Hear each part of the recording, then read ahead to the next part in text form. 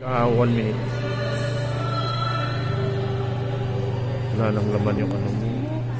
So there's a rite called like it's like cloaking. So that's the cloak of Our Lady of Peñafrancia.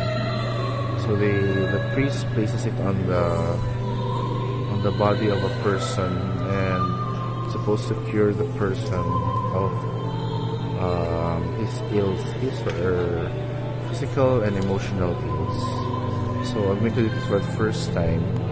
It's common daw sa those who go to Bicol, but since I'm not from Bicol, it's the first time I've seen it done in any Catholic church actually. So yeah, let's see.